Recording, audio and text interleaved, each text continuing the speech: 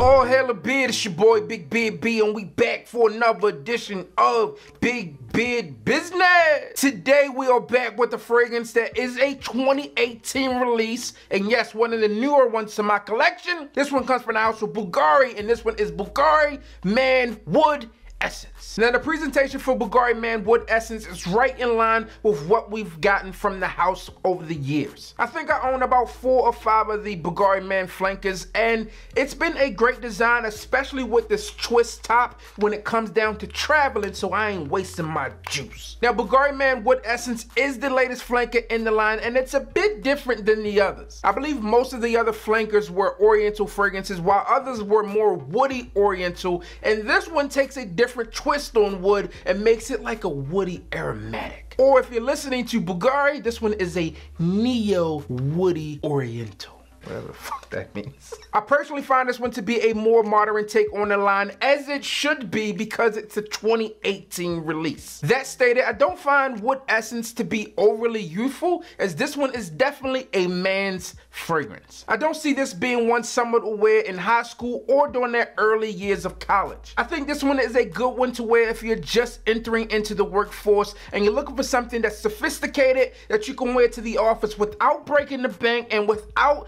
falling into that Sauvage and Bleu de Chanel pigeonhole, which I believe falls right into the lines of what Bulgari was aiming to do. They personally described this one as a neo-woody fragrance made for the modern urban man, which I kind of think is a roundabout way of saying we made this for Big Beard B because I am a modern urban man and Probably the reason why I am one of the few people who stand behind this fragrance wholeheartedly. Bulgari Wood Essence has wood in every aspect of this fragrance. In the base, you have cedarwood, benzoin, and ambergris accords. There's cypress wood and Haitian vetiver essence in the heart, while Italian citrus zest and essence of coriander stay in the top. Now, Wood Essence doesn't have high compliment factor. It's just a good smelling fragrance. And in my opinion, it's one that you can just wear to the office with confidence knowing you smell good. I personally received this one as a gift from the Bulgari team. It said, Big Big B, we got something for you on the way.